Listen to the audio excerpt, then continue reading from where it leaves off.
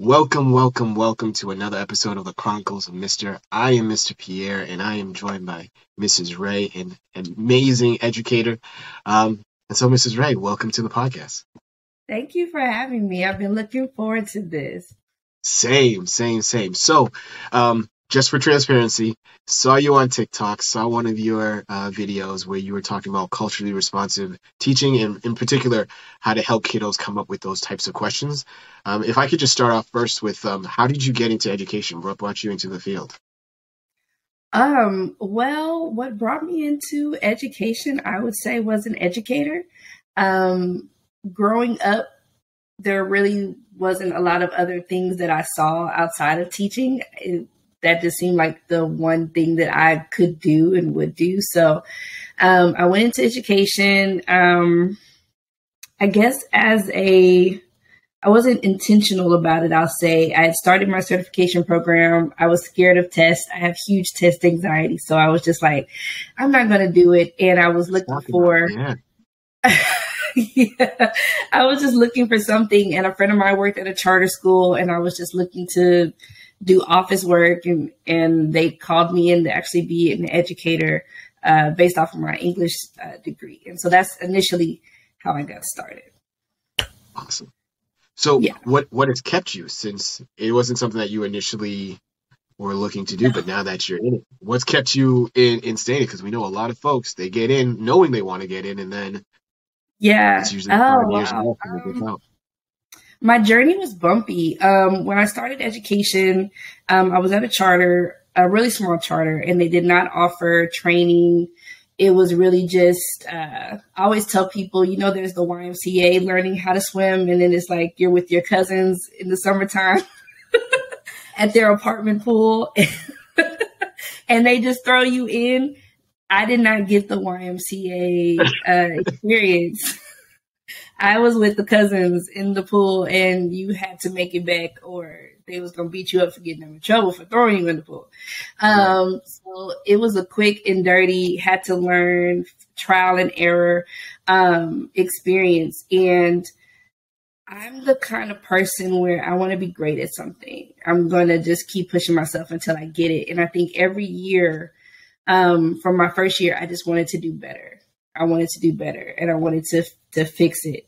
What's kept me in education is the relationships that I've been able to build with students. Um, I think, as you know, as an educator, education is is a I'm trying to think of the right word. It's it's a really toxic and it's a sad place right now for educators, and I think we're losing hope um, in the system as it as it as it is right now. I think as a teacher, I was hopeful, and I think once you gain knowledge, I got my my master's degree a year ago, and I it opened my eyes up to administration, and I was just like, oh my gosh, like if I don't get to the very top, what can I do to change anything if I'm not working for, you know, TEA, which is our Texas Education Agency, or, you know, the powers that be? There's what am what am what am I really changing in the classroom? What am I really changing um, as a principal? Which is why I did not become a principal. Um, but it's it's such a scary place, and and I think many teachers are feeling like there's no hope. And so for me, I can't leave because that's one less Black educator in the classroom. Um, there's so few. And um, I'm actually pursuing my doctorate degree right now, and I'm looking at that. The the the numbers of Black educators are so few. Um, even in my own experience, I've only been taught by five from elementary to high school, I've only been able to have five Black educators. Um, and that number goes down from undergrad to graduate work. Um, and even now in my doctoral program, I don't have any Black professors throughout the entire program. And so it's just like if I leave, what is, you know, what does that say? And so it's, it's, it's the fight. And I don't want to not be be a part of it in any way. You are, and it's part of the reason why I wanted to have this conversation is because you are saying all the things that I think a lot of us who identify as Black and people of the global majority that we're going through. We recognize how difficult it is or has been, was to get to where we are. And like, we don't want our kids to have to go through that, like, unnecessarily. So if we can be present to assist, support in whatever way that we can, that's what we're looking to do. And like you just saying, like, how do we change anything? Because you may feel like, hey, as a teacher, I know that I have a principal above me who said, hey, as a school, this is what we're doing, X, Y, Z. And consequently, if what your vision is doesn't align with that, then, you know, things are going to be done to, to push you out. And then as a principal, I may have a superintendent who's like, hey, as a district, we want to do X, Y, Z. And if your vision doesn't align with that, they'll use numbers or whatever to say blah, blah, blah. And then above that, it's like, I'm in a state where certain things are being restricted or being, we're being taught that we're being told that we can't teach blah blah blah blah blah whatever and so it's like mm-hmm. there's always someone somewhere it seems that there's a barrier this, there's a there's yeah yeah there's barriers and i think yeah. um there's you have to play a game it's it, it's all it's all a game it's the politics and i think yeah. you add that layer yeah, and you add that layer of blackness and identity to it. It's another layer of, you know, I don't automatically get the respect. I don't automatically get the authority. I, I have to know someone and I have to, you know, play the game. And it's just like, you know, I don't do too well. I don't do too well at playing games. I just, I just want to change something. And, and I think you see um, films like Lean on Me and, you know, we where are the Joe Clarks of the world? and uh, the radical nature of education is is changing, and people are afraid, and people, you know, it was a um a woman that messaged me on TikTok and was like, I would love to teach those books, but I would get fired. And I was just mm. like, what? like what? What? Like, you know, I'm I'm I'm nervous about where education is going and I think we're leading back into those those those times where the Black Panther Party and you know Fred Hampton's movement for the youth is like we have to become radical now and just not care. Um, even this new, I started teaching high school this year, and I was upfront with them. I was like, I need the autonomy. This is what is important to me. I'm culturally responsive. I'm going to teach these topics. I'm going to address cultures. Like, I need you to understand who you're hiring, what I'm yeah. about. And I don't want any guessing. I don't want any problems. this is, you know, these are the things that I teach, you know, and, and is that okay? And so I'm like, let's just be very clear before you hire me. I want you to know what you're getting. Yeah, like this is what I'm going to do. So, like, yeah. if I come in and the curriculum you're giving me is whitewashed, yep. to change it. And, um, so yeah, I just think we have to become radical. I mean, anyone who decides to remain in education is automatically like, what's that epic picture of uh, uh, Malcolm at the window with that AK? This is what this is what we're doing.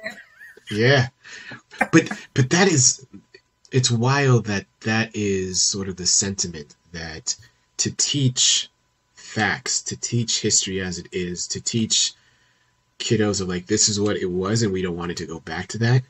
That is now being deemed radical. That's being deemed extreme. Um, yeah, and for for for us and our kiddos, like we don't have the luxury of being able to be like, oh, we can just chill. Because we recognize that that chilling sort of like that's time that's lost that is at our detriment ultimately.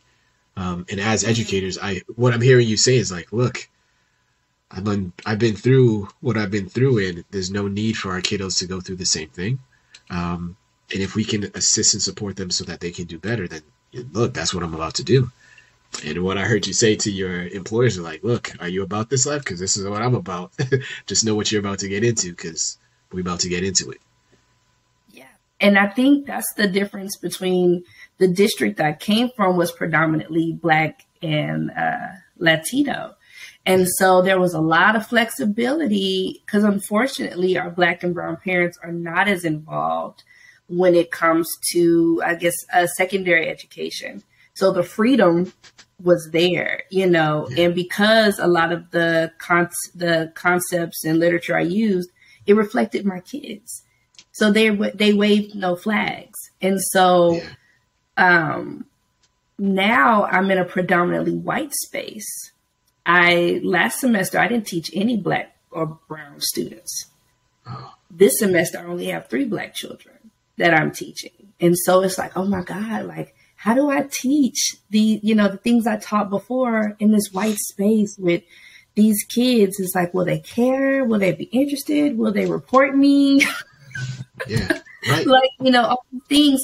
And the crazy part is, and this is what I've been telling uh, people, it's not the kids. The kids are not the problem. It's the adults it is the grown people. The kids don't care. The kids will read dinosaurs in the hood. The kids will have conversations about um what is that? Whatever. they'll read anything and they'll talk about anything and they'll address it and they'll have great conversations. It's the adults that we're fighting. And it's this future generation that we really got to get because they're the ones who are going to change all of this stupid crap that we're dealing with today. So this is what I wanted to get into. The what do you think is the reason why? I have an idea as to why I think that is, but I'd like to before I throw it out there just hear your thoughts on why do you think that is that there is so much pushback, there is so much like our kids can't handle this don't don't indoctrinate our kids blah blah blah all the whatever that's being said. Why do you think that is?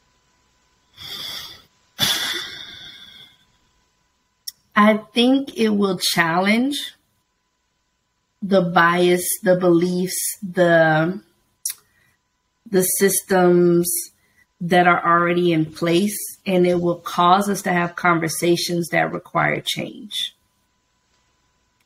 and so for many people, we don't we don't want to. Yeah. We don't want to. Yeah. we like this. It's cozy. yeah, I think so. Yeah. Right, we're thinking the same thing. Because exactly what you're yeah. saying too of I teach middle school and my middle school kiddos as a lot of times as the older person, I'm just like, oh, you can handle these conversations. It's just about a matter of am I setting it up so you understand why we're talking about what we're talking about? What are the what is the context to then be able to engage in this conversation where because the kiddos they're like I haven't done anything. I'm in this world. I'm new. I'm fresh. I don't have a history of doing X, Y, or Z. Therefore, yeah, I'm free to talk about whatever. But as you mentioned, there are parents, grandparents, folks who are still alive who are like, yeah, if we talk about this, I'm a part of that system that we're looking to change or that um, is going to have to mm. change because it's it can't continue the way that it is. Yeah. And so um, that comfortableness of that you mentioned, yeah, is 100% there. Yeah. Yeah, and I think like here's a perfect example. Um, and I actually shared this in my interview. that epic question: Is there anything that you would do again? You know, anything that you know you might have done wrong and you would do again.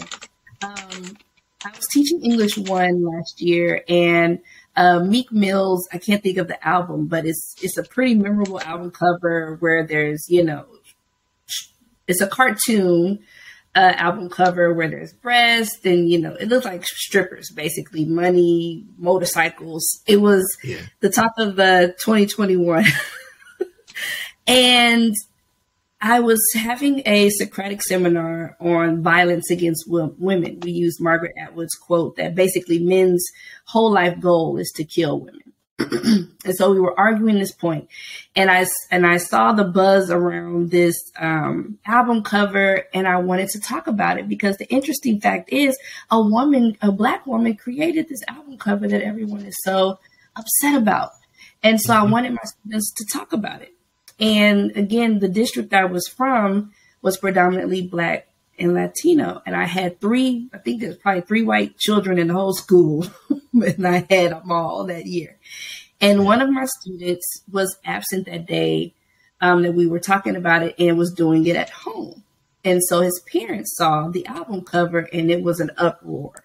This is completely inappropriate you know, why? What's the context? I don't understand why. What's the why? And so, yeah. you know, no one else is teaching this. Why are you teaching this? And and I had to stand my ground on this. And I was yeah. like, one, this is art. This is art. Would you challenge, you know, Michelangelo's David? Would you challenge um, and I want to say that same year in Italy, they had just released um, another statue of a nude woman. Mm-hmm. Nude. You can see the mm-hmm. nipples. I mm-hmm. mean, there's so many pieces of art of white naked women, and we don't say that that's inappropriate. We don't say it's inappropriate. It's taught in art classes in college. You get to analyze that. But we yeah. can't analyze this art from an African American woman if she's creating that and she's not saying that that's inappropriate. Right. Why do you, who gets to decide that black experiences and black art and black literature is inappropriate? Why?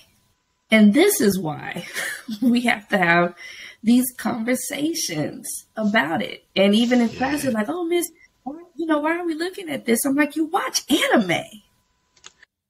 You watch, all of you guys watch anime where there's literally boobs floating on water. I'm like, anime is all about sex, but you can't look at this album cover and have a conversation about it. And you're saying that that's inappropriate because they're black. Like, we have to have these conversations. Who gets to decide? Yeah. Yeah. There it is. There it is who are the gatekeepers? Who are the ones who make those choices yes. as to what goes through and what doesn't? What's deemed yes. appropriate, what's deemed not? And nine times out of ten, and especially, and this is my current battle, white women are the gatekeepers. Hmm. White women are the 77% educators in the classroom. Yeah. And that's who we're fighting. They get to decide what curriculum. They get to choose. I'm, I'm dealing with this today. Oh, Ray, we love that for you. We love that that idea for you. That sounds great in your classroom. Yeah. We love that for you. Yeah, that would be great for your kids. Why can't everybody experience this? Yeah. Why just me? But you hired me because you wanted me to diversify the curriculum. Yeah. Because before I got there, the only text that you had for this the whole unit, this whole semester long course, was MLK's letter to Birmingham. That's it. I teach a philosophy course, so it's automatically white. Yeah. right. This is the only text, right? So it's just like, why is that? Why is that? And I'm not a I'm not a philosophy girl, so I had to do my research. I'm like, okay, mm-hmm. yeah, I'll teach this class, but there have to be other Boy. philosophers of different cultures and races. And surprise, surprise, there are. Oh my god! where they where they so, come from? Where they at? Yeah, they're they're everywhere. You know, mm. Audre Lorde, Amia Srinivasan, Amartya Sen. Like, there's so many other people that are of different races, of different sexualities, and this is the biggest thing. To be an educator today requires work because it's not going to be handed to you. Diversity and culturally responsiveness is not, here you go you gotta work. You gotta do research. You gotta find it because it's not automatically there. So, what do you say to a young teacher who hears what you're saying, like, but where do I go, Miss Ray? Where do I go? What? How do I find these resources? Pierre, this is gonna sound real ghetto. Give it to me straight. I just want the real. I just want the real. I will literally, I'll have an idea, and I will literally go to Google and type "black man crying" poem PDF. you know, whatever will pop in, you know, I'm like, I need something for this specifically. And literally, I'll type in the most random things, words in Google, and it will come. And eventually, as you start looking, as you start digging, you start to learn uh, different poets. You start to experience uh, different literature and the names, and it just starts to create almost like Dexter. All those mm-hmm. red lines start to connect. So the more time you spend digging, the more you become familiar. It just it takes time to create your arsenal of culture. I would say. So what I'm hearing you say is that we have this tool at our fingertips called Google. It's just going to take some effort on our part to yeah. go in, however random it might be, use Google, and then from there start to glean or wean away all the yeah. extra stuff to be able to get to the thing that you're looking for. Because yeah, I think, I mean, you, you're an educator. If you're in education, you're not lazy. You you can't be. No. well, let me say you can, you can. There are. If you want to be a good educator, though, is what I'm hearing you if say. you want to be good, yeah. if you want to be good, and if you want to make an impact, and if you want to, um, I like to say, I create experiences for students. I'm not a lecturer. I said I'm I'm like those pastors. I'm not going to be before you long. I'm yeah. just going to set the stage, and I'm going to move out the way. I like to create experiences, and I I want my students to have those conversations so that they can learn from one another. And when today, especially, there's so much hate speech where students use racial slurs and homophobic slurs. And the more we start to have these conversations and read these experiences, those slurs start to drop. They decrease. Mm-hmm. For me, at least, I'll say, when we start to talk about these things, I don't hear, you know, all these different terms and all of these, you know, the stuff these kids say today are crazy yeah. um, towards each other. But when we start to figure out why are you saying that and what does it mean, it starts to shift just a little bit. And yeah. so it takes, you know, I would tell a, a, new teacher to start with the resources that your district has. Um, look through those materials, see what you can find, and then isolate one piece take that to Google and start learning, research the authors, and explore what was going on at the time. Because honestly, um, I teach English, but English is history. Mm-hmm. It's social studies. Mm-hmm. That's that's all it is. And the more you learn about the background of uh, the author and what was going on at the time, and you again start to create those dots and and the connections and next thing you know, you have a full Socratic seminar on on just starting from one little little aspect. I, I never got a chance to ask you what what grade um, or what age of age range of kiddos do you teach? Um, I teach currently tenth grade. Okay. So my students are uh, 13, 14. Sophomores, Actually, okay. no, 14, 15. Um, but I've spent majority of my I've been teaching for seven years. So a bulk of that time was in middle school. So I taught seventh and eighth grade. Yep, that's my lane. Majority. Yep. Yeah, I love middle school. yeah, same, same. Middle school is fun. I was like, but I need to get to high school. I need to at least say I've been there. Yeah. what What would you say has been the, the the difference between middle school versus high school? Uh, they're bigger. There's not much difference. I'm just like, oh, these kids are big. There's really no difference. Honestly, The only difference for me is just the the race and ethnicity of students I teach now. Okay. Um, which is I, I spent the first semester feeling like a traitor mm-hmm. because I left and I'm not with the kids that look like me, that come from down the street like me, and yeah. I'm still in the same vicinity, but it's so different. And so now it's like, how do I behave around white and Indian and Asian students? Can I be myself? Can I mm. still joke like I used to? Like what? How should I behave? And it's crazy because I was very fra- I, I treated them as though they were fragile for the first month, and then I realized these jokers are just the these jokers are just the same. Just the There's same. no difference. They're just the same, and so it's it's really about your own mindset and the things we tell ourselves that, you know, I have to do this, I have to be like this. And it's just like those kids do not care.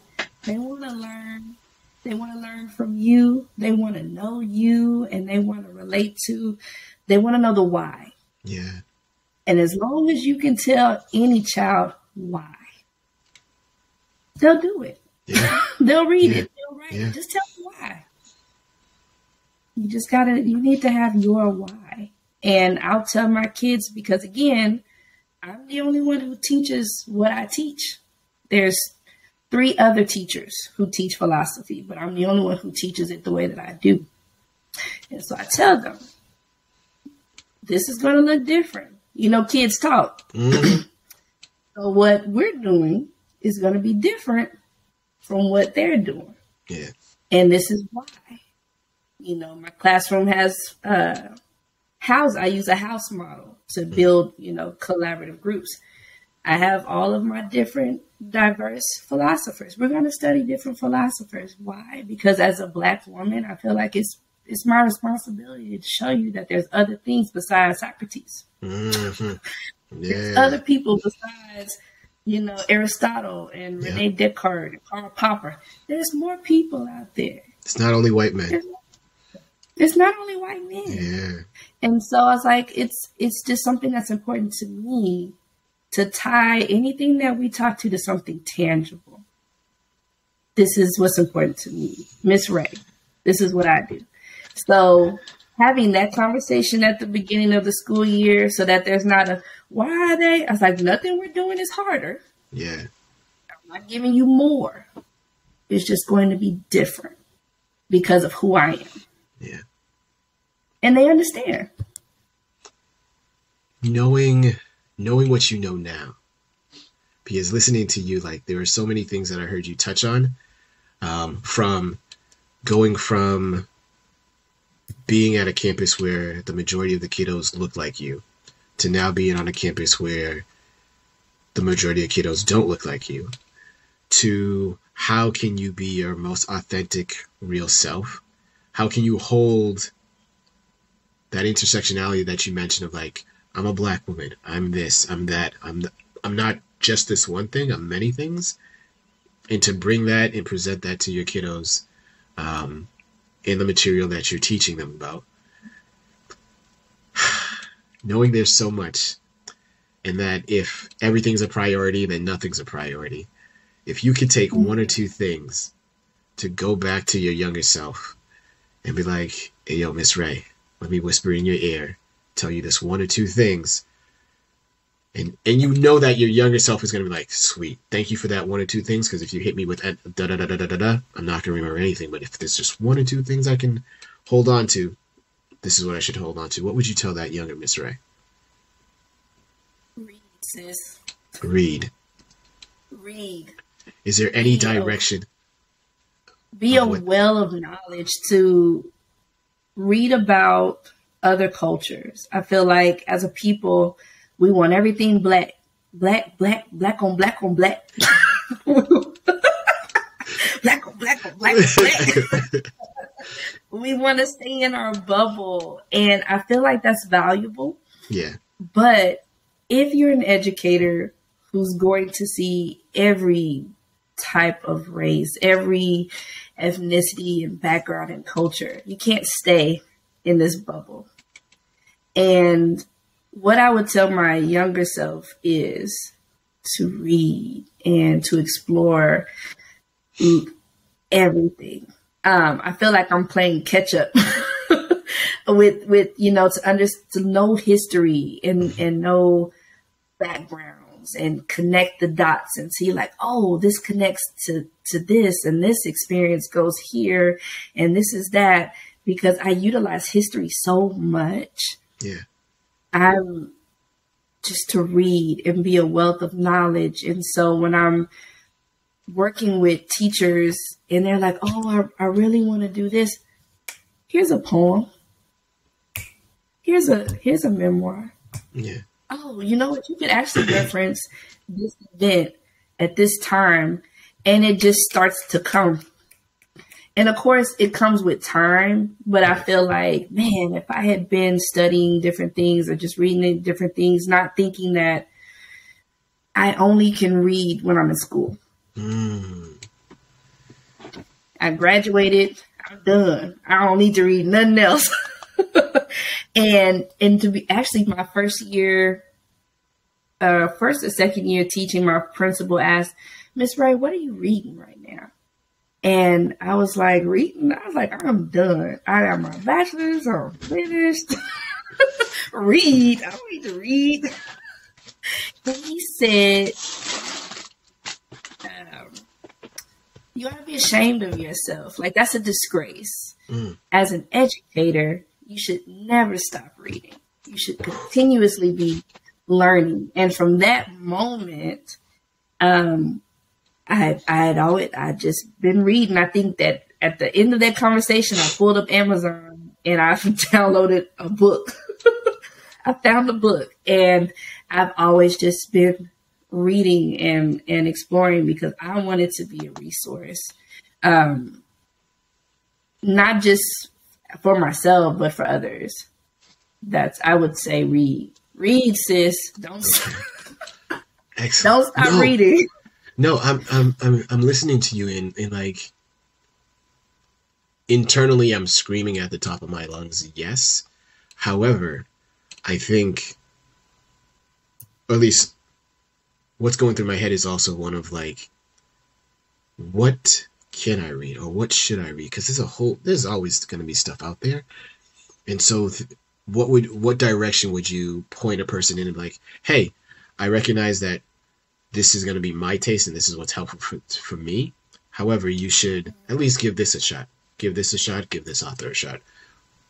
Uh, off the top of my head, a really good book to start uh, would be Ibram X. Kendi Stamped. Okay.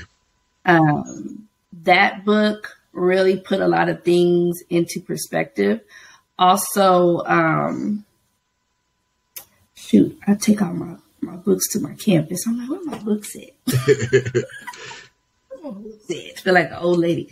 Um, Ibram X. Kendi stamped really uh, opened my mind to a lot of the structures that makes education so frustrating. Mm-hmm.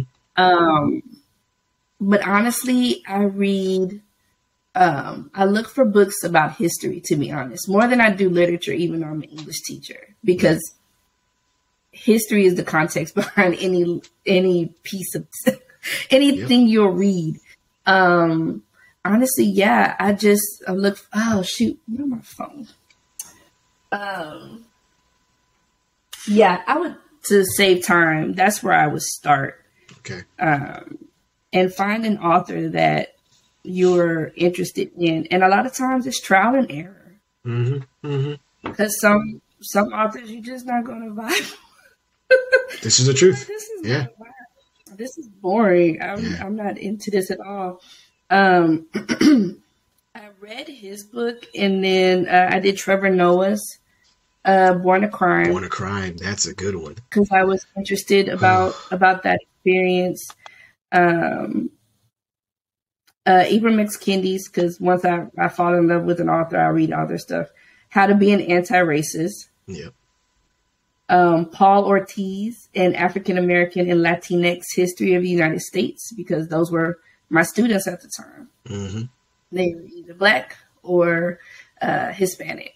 And so I wanted to be able to tie things that they would care about.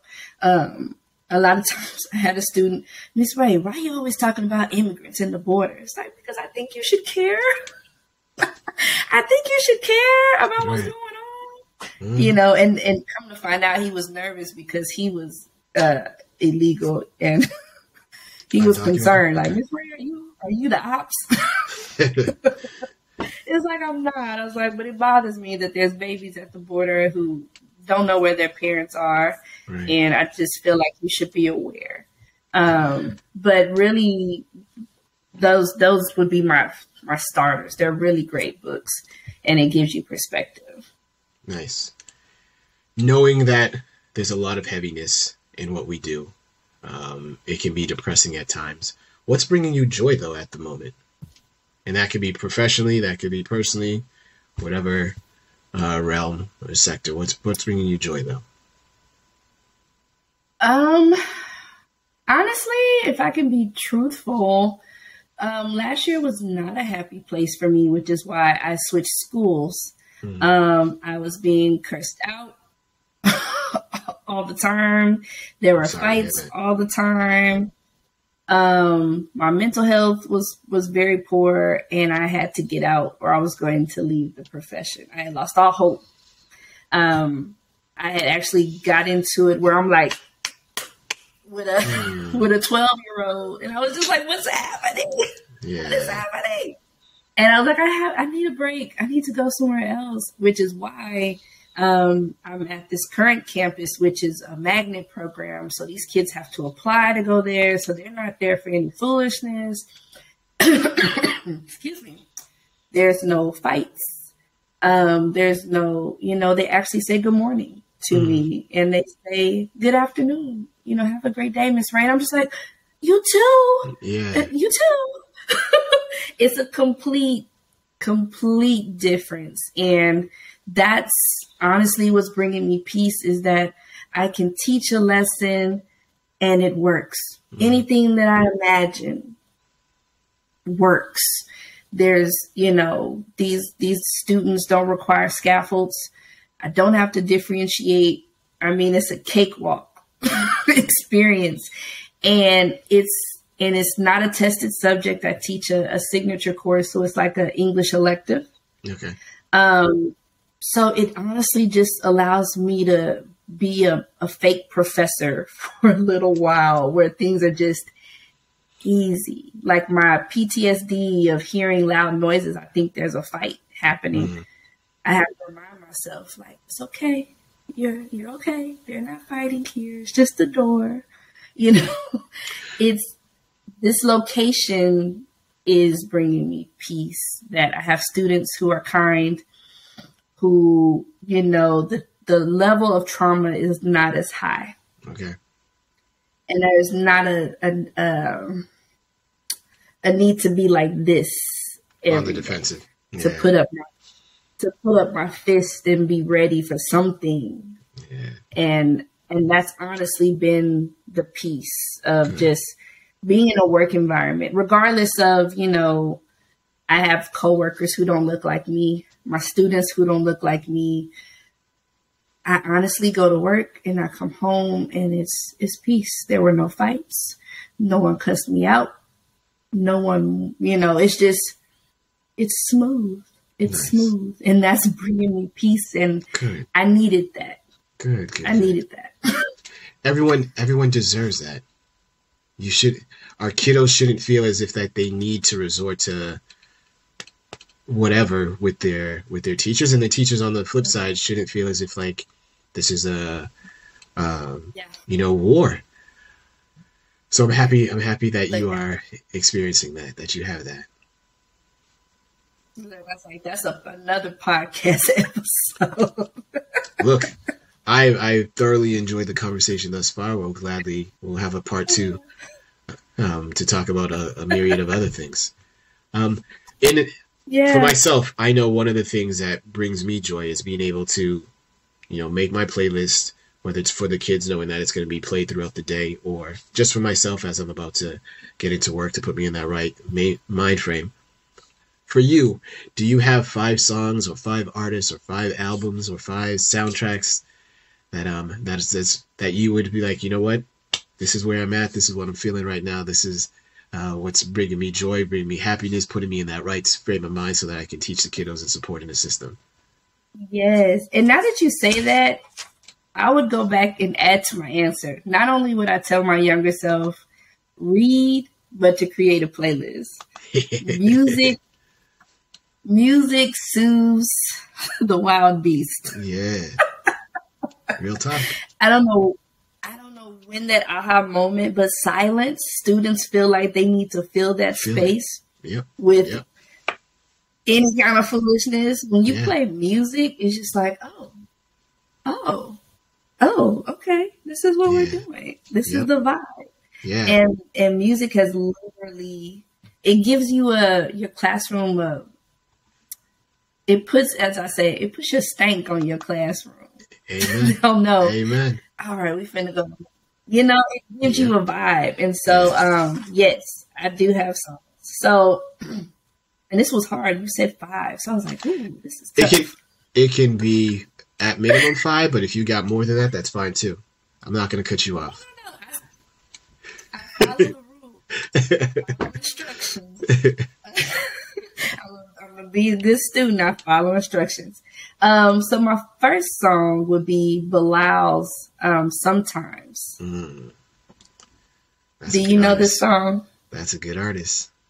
If you Sometimes. don't know this song, it's gonna bless you. Mm it's a true, just a human experience.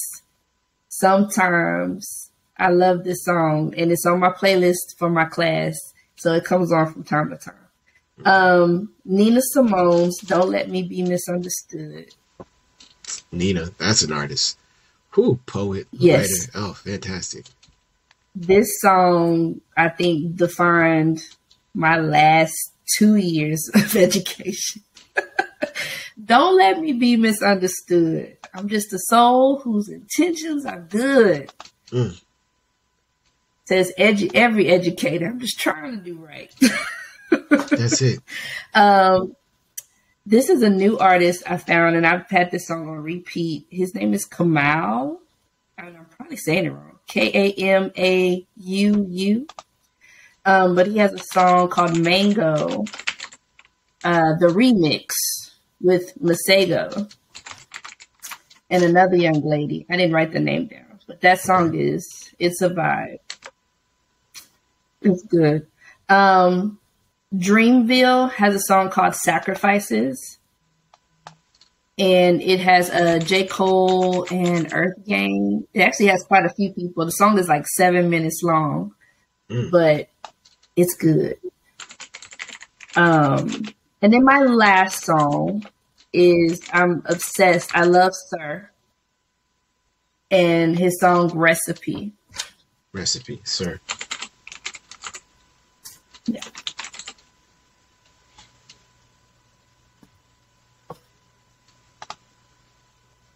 Okay, let's hear this recipe.